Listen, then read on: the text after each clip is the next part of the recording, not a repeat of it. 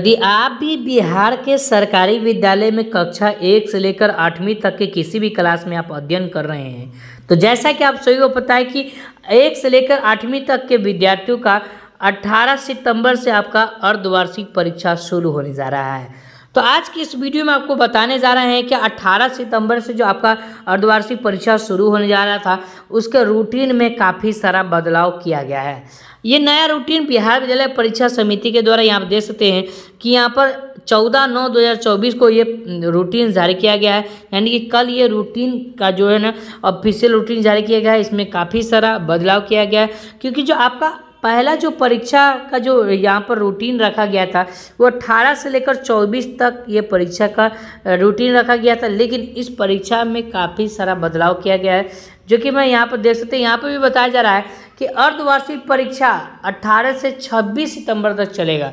पहले जो है ना 18 से 24 सितंबर तक था, ठीक है? लेकिन इसमें जो है ना, काफ़ी बड़ा संशोधन किया गया काफ़ी बड़ा चेंजिंग किया गया अर्धवार्षिक परीक्षा के रूटीन में।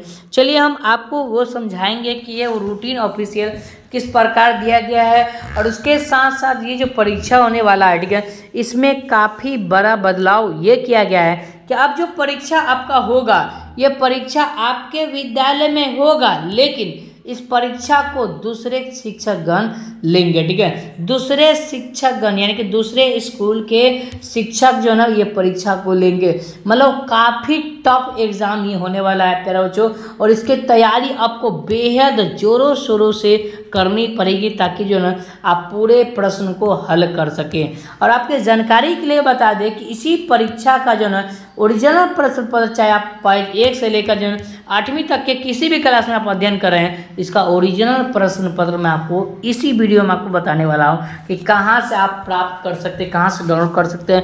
और बिल्कुल अब हंड्रेड नहीं, five hundred percent original paper मैं परीक्षा से पहले दे दूँगा, ठीक है? तो देख सकते हैं जो यहाँ पर कल जो लेटर जारी किया गया है, वो चौदह नौ दो हज़ार चौबीस को ये लेटर जारी किया गया है। और इसमें यहाँ पर बताया जाए राज्य के सभी सरकारी एवं सरकारी सहायता प्राप्त प्रारंभिक विद्यालय में अध्यंतर विद्यार्थी कक्षा एक से आठवीं तक के छात्र छात्राओं का अर्धवार्षिक परीक्षा के मूल्यांकन दो हज़ार चौबीस के आयोजन के संबंध में यहाँ पर एक आंशिक संशोधन। गौर से देखिए आंशिक संशोधन किया गया, ठीक है?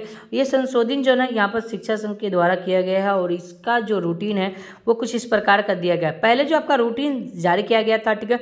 यहाँ पर देख सकते नौ अगस्त को ये लेटर जारी किया गया था और यहाँ पर पहले जो परीक्षा का तारीख रखा गया था, वो अट्ठारह नौ दो से चौबीस नौ दो तक ये परीक्षा का तारीख रखा था। ये पहले वाला का रूटीन ठीक है?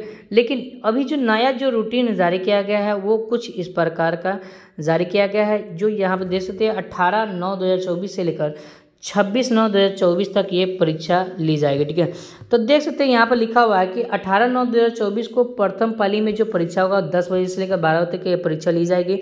और कक्षा तीन से लेकर और आठवीं तक के विद्यार्थी प्रथम पाली में पर्यावरण या सामाजिक विज्ञान का परीक्षा देंगे। जो छात्र पाँचवीं के विद्यार्थी होंगे, वो पर्यावरण का परीक्षा देंगे और जो छात्र छठी, सातवीं आठवीं के विद्यार्थी होगा सामाजिक विज्ञान की परीक्षा देंगे।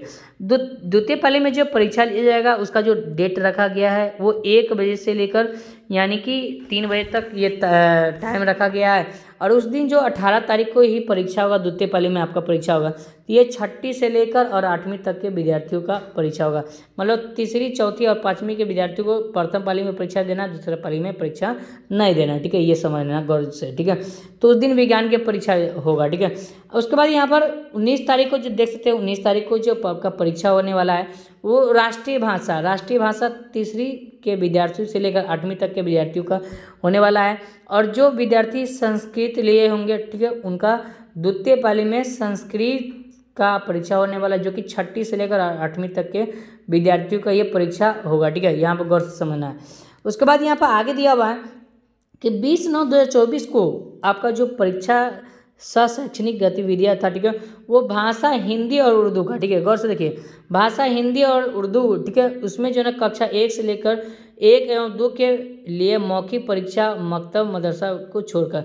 मतलब अब जो है ना, हिंदी और उर्दू का जो परीक्षा होगा, वो उस दिन सिर्फ़ बीस तारीख को कक्षा पहली से लेकर दूसरी तक के ही विद्यार्थियों का परीक्षा होगा, ठीक है? और यहाँ पे देखते हैं, और द्वितीय पाली में सह शैक्षणिक योग्यता होगी, ठीक है, जो कि सभी विद्यार्थियों के लिए है ठीक है, ये सभी विद्यार्थियों के लिए है ठीक है। उसके बाद नीचे बढ़ेंगे। यहाँ पर इक्कीस नौ दो हज़ार चौबीस को यानी देख सकते हैं, भाषा, हिंदी और उर्दू की उर्दू की परीक्षा होगी, जो कि तीसरी से लेकर पाँचवीं तक के विद्यार्थियों का परीक्षा होगा प्रथम पाली में, और द्वितीय पाली में छठी से लेकर आठवीं तक के विद्यार्थियों का हिंदी और उर्दू की परीक्षा होगी, ठीक है?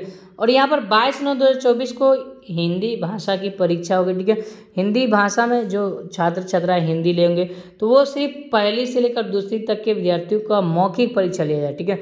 हिंदी और उर्दू उर्दू का मौखिक परीक्षा लिया जाएगा और द्वितीय पाली में सह शैक्षणिक योग्यता मकतब मदरसा को सिर्फ़ छोड़कर, ठीक है?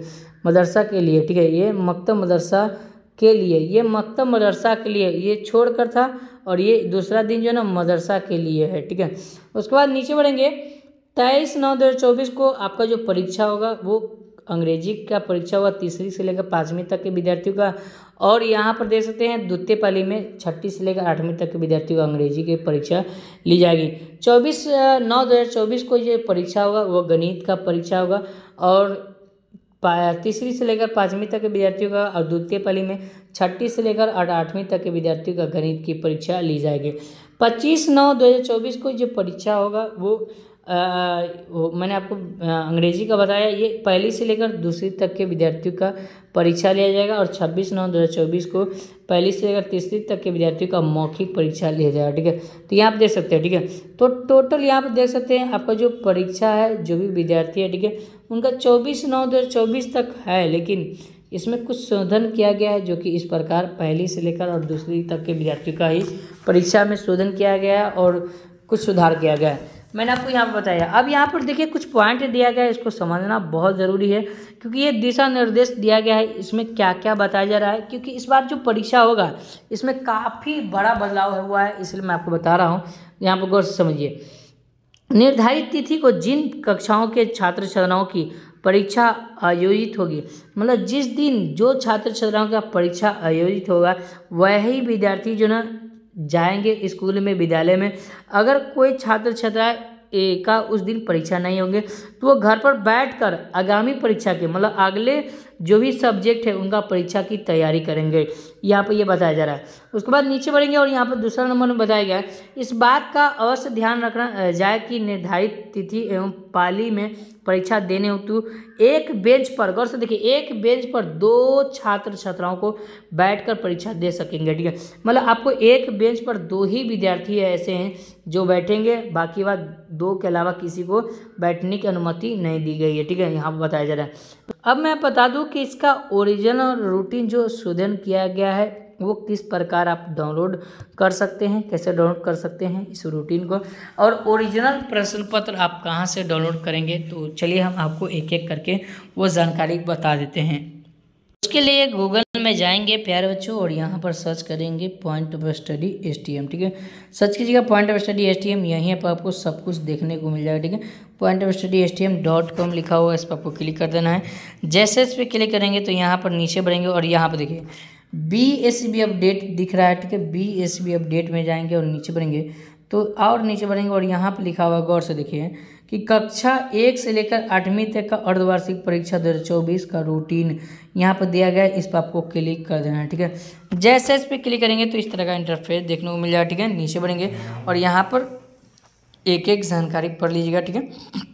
और नीचे बढ़ेंगे और यहाँ पर लिखा हुआ है एग्ज़ाम रूटीन ठीक है? यहाँ पर लिखा रहेगा न्यू एग्ज़ाम रूटीन ठीक है? न्यू एग्ज़ाम रूटीन पर डाउनलोड लिख, लिखा रहेगा, यहाँ से आकर आप डाउनलोड कर सकते हैं।